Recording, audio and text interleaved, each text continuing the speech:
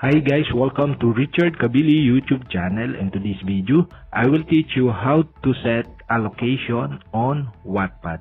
So okay guys, but before we start, kindly subscribe to my YouTube channel by pressing the subscribe button and the bell to notify you if I have new videos. Okay guys, let's start.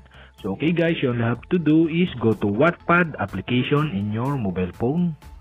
And okay guys, here in Wattpad homepage, okay, click the profile picture on the upper right side on your screen. And after that, okay, click the gear icon on the upper right side on your screen. And okay guys, here in settings, okay, click account settings. And account settings, okay, scroll down and okay, you can see the location. You only have to do is select location. And okay guys, the pop-up will show and now you can enter your location.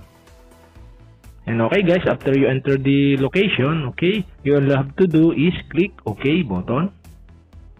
And okay guys, location change. And okay guys, we have successfully set a location on your Wattpad account. And okay guys, if you have a question, kindly comment below.